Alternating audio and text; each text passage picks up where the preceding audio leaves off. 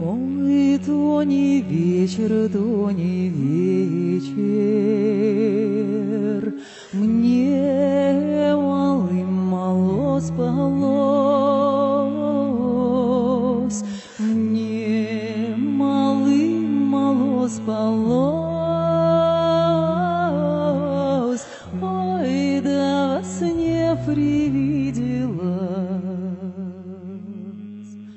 Romuald Koperski Pojedynek z Syberią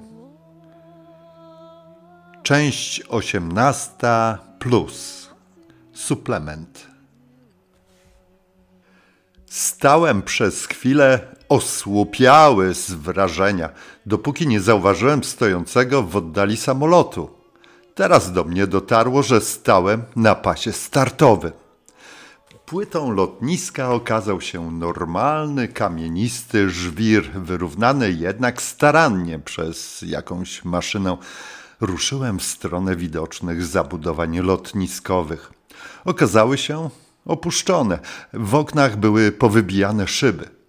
Przejrzałem się samolotowi. Rosła na nim trawa. Żeby przypadkiem cała wioska tak nie wyglądała, pomyślałem i ruszyłem w jej kierunku.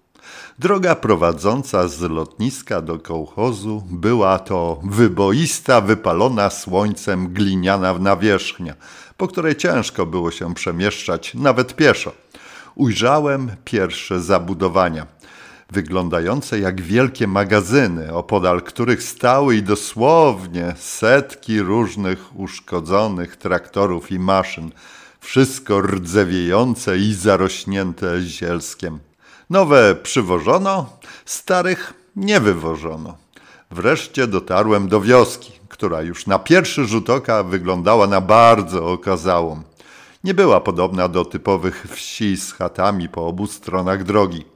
Bułun miał zabudowę na wzór miasta ze skrzyżowaniami i placami. Zauważyłem ludzi, prawie wszyscy byli Jakutami. Przerywali swe codzienne zajęcia, widząc mnie idącego drogą. Wiosce tętniło życie i słychać było typowe tego odgłosy. Ktoś piłował drzewo piłą tarczową, gdzieś ktoś krzykiem zagarniał inwentarz, słychać też było jeżdżące motocykle i traktory. Szedłem gliniastą, pełną dziur arterią. Mijałem kolejne skrzyżowanie i nie zauważyłem żadnego budynku, który by różnił się zasadniczo od pozostałych. Wszystkie chaty były drewniane, dachy miały pokryte eternitem, budowane były według jednego projektu. Przy każdym obejściu wielkie sterty drewna opałowego. Widząc, że sam nie odnajdę naczalstwa tego wielkiego kołchozu, zatrzymałem przejeżdżającego właśnie motocyklistę i zapytałem go o drogę. Siadajcie, rzekł młody Jakut. Podwiozę was, bo to kawałek drogi. Jechaliśmy przez niekończącą się wieś, skręcając często w różne przecznice, a każda z nich miała tabliczkę z nazwą ulicy. Droga na każdym odcinku przypominała wzburzone morze. Pomyślałem, że musi tu być bardzo uroczo wiosną lub po deszczu. Po karkołomnej jeździe dotarliśmy wreszcie cali i zdrowi na plac, na którym stał pomnik wodza narodów, czyli Lenina. Obok wznosiła się okazała budowla, nad którą powiewała flaga Rosji i jeszcze jedna, jak się domyśliłem, Jakucji. Przed budynkiem stało kilka różnych samochodów ciężarowych i dostawczych oraz jeden posiadający zakratowane okna w części przeznaczonej dla pasażerów. Napis na jego boku brzmiał milicja. No, to jestem w domu. Wchodząc do budynku, myślałem jeszcze o tym samochodzie i zastanawiałem się, dokąd i za jakie przestępstwa wozi się nim ludzi.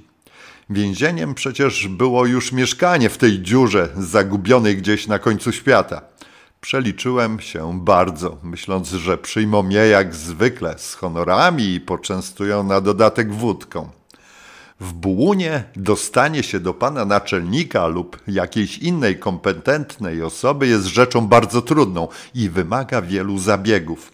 Najpierw stałem w kolejce do sekretariatu wśród towarzystwa o skośnych oczach, ubranego w jednakowe kufajkowe stroje. Prawdą było jednak, że niewiele się od nich różniłem, gdyż nieogolona twarz i strasznie brudne ubranie czyniło mnie nie do poznania. Również fakt posiadania przeze mnie prostych oczu niewiele zmienił, więc wnioskowałem, że w kołchozie znajduje się więcej takich jak ja prostookich. Jedyną moją troską był fakt, że zbliżała się godzina zamknięcia urzędu i wszystko wskazywało na to, że nie będę już dzisiaj przyjęty.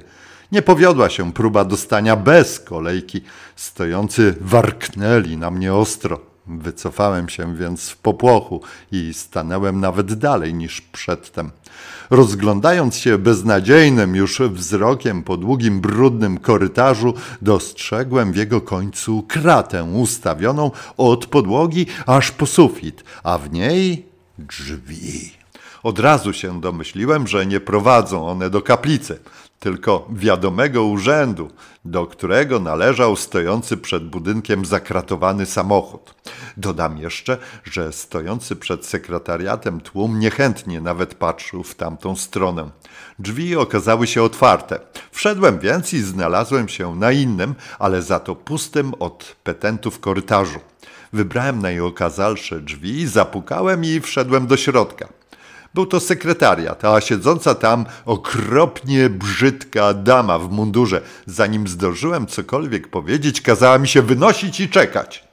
Usiadłem więc na drewnianej ławie stojącej w korytarzu i czekałem cierpliwie. Potwór w mundurze parokrotnie wchodził i wychodził z sekretariatu, zawsze trzymając w łapach jakieś papiery, ale na mnie nie zwracał żadnej uwagi. Na pagonach jej munduru zauważyłem gwiazdki oficerskie. Po dłuższym oczekiwaniu usłyszałem jej obrzydliwy głos, ale nie reagowałem, bo nie rozumiałem o co chodzi. Po chwili drzwi się otworzyły i ukazała się w nich znana kobieta, paszczur. Wyzywając mnie od głuchych i upośledzonych, raczyła wpuścić mnie do środka. Sposób traktowania ludzi w tej instytucji bardzo mi się nie spodobał i sprawił, że zagotowało się we mnie mocno. Teraz, babo, ci pokażę, pomyślałem. Już wszystko mi jedno było, jak dalej sprawy się potoczą. A potoczyły się tak. Słucham? Dzień dobry. Chciałbym się zobaczyć z komendantem. Mówię najuprzejmiej, jak umiem. W jakiej sprawie? Spytała jakby sympatyczniej, zorientowawszy się, że jestem nietutejszy. Przecież jasno się wyraziłem, że mam sprawę do komendanta, a nie do jego sekretarki. Odpowiedziałem bezczelnie, lecz spokojnie. Obrzydliwa kobieta zlustrowała teraz mnie dokładniej i widać było, że jest zbita z tropu. Dopiero w chwilę później, gdy spojrzała na moje ubranie, odzyskała lekko rezon i postanowiła zagrać na zwłokę. Pan komendant jest dzisiaj bardzo zajęty. Proszę więc przyjść jutro rano o dziewiątej, tak? Tak, dobrze, powiedziałem celowo, przeciągając sylaby. Jeśli jutro, to będzie pani łaskawa zarezerwować mi hotel i zamówić taksówkę, bo nie widzę bowiem w pobliżu żadnej budki telefonicznej. Zaczekam na korytarzu, dodałem, cedząc już pogardliwie słowa, gdyż wreszcie dotarło do mnie, że jestem tylko w błunie. Wychodząc, zadbałem oczywiście o efekty akustyczne, głośno zamykając za sobą drzwi. Skutek był piorunujący. Pan komendant nie dawał na siebie długo czekać i nawet wstał za biurka, kiedy wprowadzono mnie do jego gabinetu. Kobieta oficer, szczur, podsunęła mi krzesło, a komendant gestem ręki i uśmiechem zachęcił mnie, bym usiadł. Komendant wyglądał na dobrze odżywionego i widać było, że ma się bardzo dobrze. Był jednak zmieszany i lekko podenerwowany. Widziałem już, że teraz ja gram pierwsze skrzypce i moja solówka musi wypaść bezbłędnie, bo w przeciwnym wypadku mogę zamiast skrzypiec otrzymać łopatę. W czym mogę pomóc? zapytał komendant, odsłaniając w uśmiechu srebrno-złote dla odmiany uzębienie. Jestem kierownikiem międzynarodowej ekspedycji, która ze Szwajcarii przez całe terytorium Rosji udaje się do Nowego Jorku. Ekspedycja nosi nazwę Podróż dla Pokoju i jest pod bezpośrednim patronatem ONZ. Wypaliłem bez zastanowienia. Ze strony rosyjskiej patronuje temu przedsięwzięciu sama moskiewska firma Piligrim. A co to za firma i czym się naprawdę zajmuje, to chyba pan komendant słyszał. Komendant skinął w tym momencie głową, że słyszał, a ja wiedziałem, że kłamie, bo cóż mógł wiedzieć o firmie oddalonej o tysiąc kilometrów stąd. Upoważniało mnie to bardziej do zuchwałego mieszania prawdy z kłamstwem. Posiadam listy rządowe, kontynuowałem, ale ma się rozumieć, znajdują się w samochodzie. Przy sobie natomiast miałem paszport i wizę wystawioną przez ambasadę Rosji w Brnie, na której była wypisana cała trasa, a dodatkowo informacja, że podróż kończy się w Nowym Jorku. Szperając dalej w plecaku, znalazłem też jakiś świstek z pilgrimu z adresem moskiewskim, opatrzony wielkimi okrągłymi pieczęciami, na których kwitowałem swego czasu pobranie map sztabu generalnego armii ZSRR. Szczerze mówiąc, do dzisiaj nie wiem, jakim cudem się tam znalazł. Położyłem wszystkie posiadane dokumenty przed komendantem, Wziął je ostrożnie do ręki, widać było, że z wrażenia cały dgotał. By nadać powagi całej sprawie, rozpędziłem się w oszustwie i dodałem jeszcze, że obecnie na terenie Rosji znajduje się kilka takich międzynarodowych załóg. Każda podąża do celu oczywiście inną drogą. Aby równowaga na szali prawdy i kłamstwa była równa, powiedziałem, że martwię się o moją obecną sytuację. Wyjawiłem przy tym, że mam problem i zapytałem, czy komendant mógłby mi w jakiś sposób pomóc. Dla komendanta wszystko, co opowiedziałem, było jednym wielkim szokiem. Długo nie mógł zebrać myśli. Takiej sprawy jeszcze nie miał. Międzynarodowa ekspedycja na jego terenie. Organizowała to ONZ i jakiś tajemniczy pilgrim z Moskwy, o którym nie miał zielonego pojęcia. Do tego jeszcze rząd Rosji, który temu w jakiś sposób patronował. Tego wszystkiego za dużo się nazbierało jak na jeden raz. Wiedział biedny, spocony już komendant, y, który był panem i władcą, mającym więcej od Boga do powiedzenia w tej mieścinie, że na tym można zarobić albo wszystko stracić. Dlaczego ta ekspedycja akurat tutaj utknęła? rozmyślał po cichu. Każdym bądź razie milsze komendantowi było pierwsze rozwiązanie, bo w mig zrozumiał, że trzeba natychmiast zabrać się do roboty, bo może się zdarzyć, że ktoś z czasu będzie rozliczał. Komendant wezwał ropucho oficera i wydał różne dyspozycje, między innymi, by kierowca ściągnął natychmiast cały zarząd kołchozu. Tak, teraz, w tej chwili, miotał jeszcze za sekretarką, próbującą czegoś więcej dowiedzieć się. Następnie z sąsiedniego pomieszczenia przyniósł mapę, rozłożył ją nerwowo na stole i kazał sobie pokazać miejsce, gdzie utknęła ekspedycja. Pokazałem mu przypuszczalne miejsce, wyjaśniając przy tym, że jestem bardzo dobrze widoczny od strony rzeki. Dopiero po dłuższej chwili, gdy jego zdziesiątkowane alkoholem szare komórki wszystko zakodowały, zapytał, dokąd właściwie chcę jechać. Muszę za wszelką cenę dostać się do Handygi, odpowiedziałem. Komendantowi zrobiło się jeszcze bardziej gorąco. Rozpiął więc koszulę i zdjął krawat. Kiedy musisz się tam zameldować? Zapytał, myśląc z tego wszystkiego, że to jakieś zawody. Czas już nie jest istotny, chociaż jak najprędzej, odpowiedziałem.